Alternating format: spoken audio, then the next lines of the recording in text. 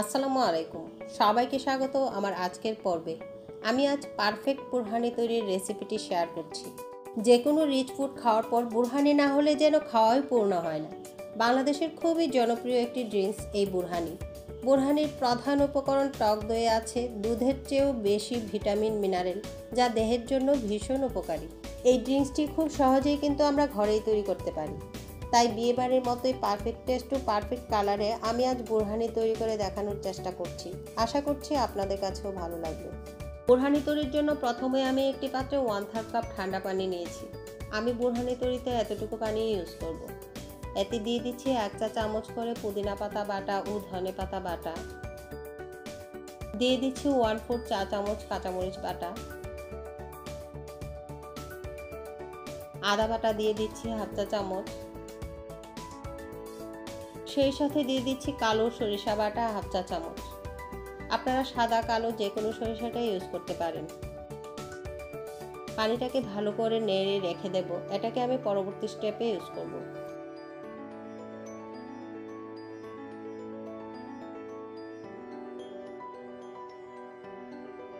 আবার বুরহানি তৈরির প্রধান উপকরণ টক দই নিয়েছি হাফ কেজি।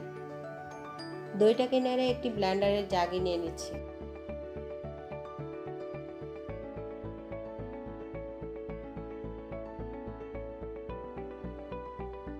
এর সাথে দিয়ে দিচ্ছি হাফ চা চামচ ভাজা জিরার গুঁড়ো।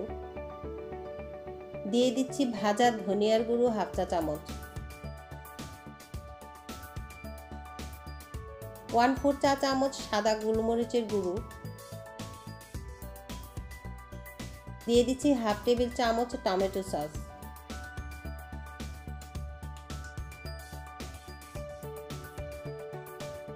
এখন দিচ্ছি চিনি দুই টেবিল চামচ।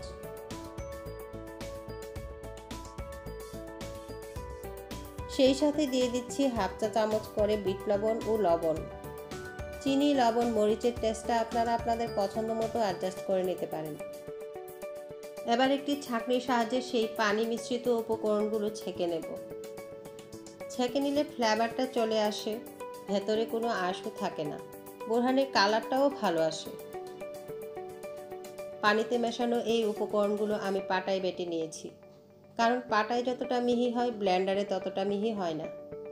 মিহি করে বাটার পরও অনেকটা আঁশ কিন্তু থেকে যায়। এইভাবে ছেঁকে নিলে খেতেও ভালো লাগে, দেখতেও ভালো লাগে।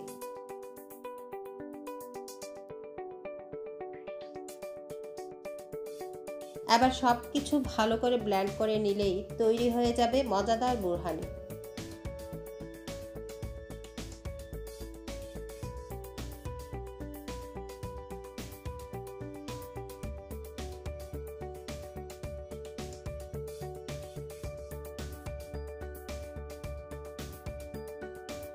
এর কনসিস্টেন্সিটা একেবারেই পারফেক্ট একটু ক্রিমি ক্রিমি ভাব থাকলে বিয়ে বাড়ির বোরহানির পুরো টেস্টটাই পাওয়া যায়।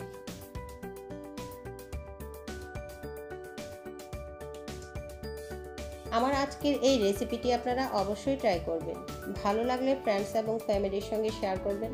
আপনাদের পছন্দের কোনো রেসিপি জানতে চাইলে কমেন্টে অবশ্যই জানাবেন। আজকের মতো এখানেই বিদায় নিচ্ছি। সবাই সুস্থ থাকবেন, নিরাপদে থাকবেন। আল্লাহ হাফিজ।